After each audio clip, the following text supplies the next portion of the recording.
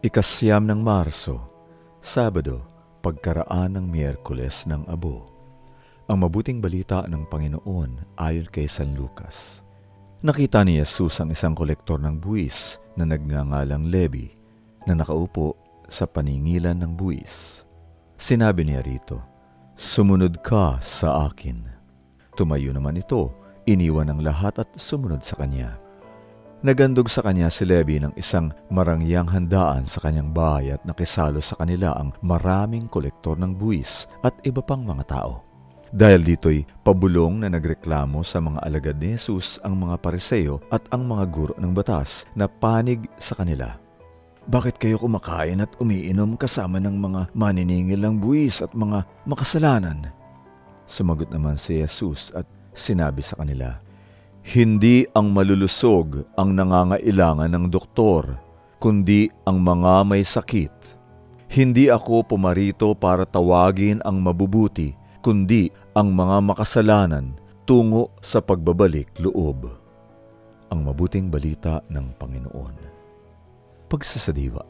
Hindi ako pumarito para tawagin ang mabubuti, kundi ang mga makasalanan tungo sa pagbabalik loob. Napakabuting balita nito. Ito ang buod ng misyon at ng ebanghelyo ni Jesus. Sa mismong bibig ng Panginoon nang galing ang pagtitiyak na ang dahilan ng pagparito niya sa mundo ay ikaw at ako, tayong lahat na makasalanan. Mahalaga tayo sa Diyos. Kung makasalanan ka, hindi kailangang magmukmuk na lang o maglublob na lang sa kasalanan may dahilan ka para umasa at magsaya. Pagpapatawad at bagong buhay ang hatid ni Jesus sa mga gustong magbalik loob sa Diyos. May paraan para makaahon sa malalim na balon ng kasalanan at malinis sa putik ng kasalanan. Pero kung sa tingin mo ay malinis ka at walang bahid ng kasalanan, walang kabuluhan sa iyo ang sinasabi rito ni Jesus. Hindi mo iisipin kailangan mo si Jesus para patawarin at iligtas ka.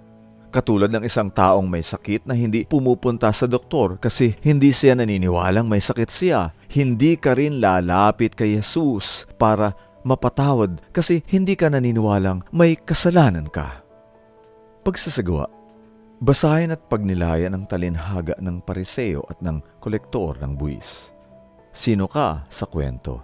Ang pariseo o ang kolektor ng buwis?